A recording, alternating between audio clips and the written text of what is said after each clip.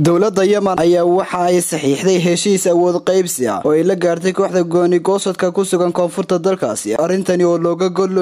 leeyahay sidii loogu soo afjari lahaa dagaalka labadaasi dhinac u dhexeeyey bilooyinka labada dhinac ayaa waxa ay qayb ka yihiin xulafada ay horkacayso sacuudiga ee dalalka badan ka kooban taasi oo dagaal kula jirta fallaagada xuutiyiinta tan iyo labadii kun iyo shan iyo tobankii hase yeeshee bishii agosto kooxaha gooni goosadka ee ay baritaarayso u a e ayaa waxay gacan ku-haynta magaalada cadan kala wareegeen ciidamada dowladda ay taageerto sacuudiga qaramada midoobay ayaa sheegay in heshiiskani uu yahay mid muhiima ahna tallaabo loo qaaday sidii loo soo afjari lahaa dagaalka sukeeye ee yama cabdirashiid maxamuud maxamed cabdishiid huduud wararka star t v